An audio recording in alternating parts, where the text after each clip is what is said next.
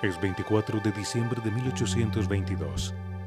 Un día que para la historia de Pasto será recordado como la Navidad más negra de toda su historia. ¿Dónde están? ¿Dónde está la resistencia? ¡Habla! Este día, el ejército patriota, comandado por el mariscal Antonio José de Sucre, entra a la ciudad con la orden de someter a sangre y fuego un pueblo que se resistía a la independencia y defendía a muerte el imperio español. ¡Que viva el rey! ¡Que viva el rey! ¡Viva el rey! Para la historia oficial, la posición de Pasto mm, nunca fue comprendida. Pastuso no quería ser colombiano.